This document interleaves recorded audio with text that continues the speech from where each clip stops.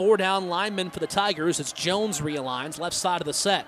Tigers blitz. Lujan throws the out left side. It is caught by Jake Wieneke. His first career catch. He's tossed out of bounds. And behind him, Fake of a handoff to center. Lujan airs it up deep left side, has a man, one handed grab inside the 40, and down at the 30 yard line is Jake Wieneke. Boy, what a sensational grab by the redshirt freshman from Maple Grove, Minnesota. Right, Tigers four down lineman. Lujan a one step, airs it up deep right sideline. Wieneke jumping catch, and he's able to get his feet in bounds for a successful reception to the 35 yard line. Mengarelli behind Lujan in the pistol. Lujan throws right side on the.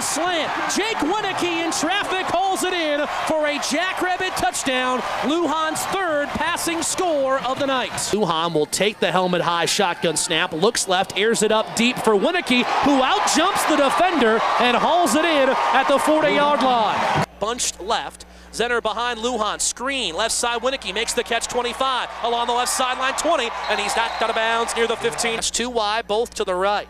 Mengarelli in at tailback. Fake of the handoff to him. Lujan going deep right side for Wieneke, who hauls it in despite contact from Dortch. Touchdown, South Dakota State. Clock back in motion. Twins either side. Sumner to throw. Deep left side. He wants Wieneke. Makes the catch inside the 10. Tightrope the sideline. Touchdown. South Dakota State. What a wizard that Jake Wieneke is. Play fake to him. Sumner going deep left seam for Wieneke, leaping grab into Western Territory. He is hauled down by Richard Chungong at the 47.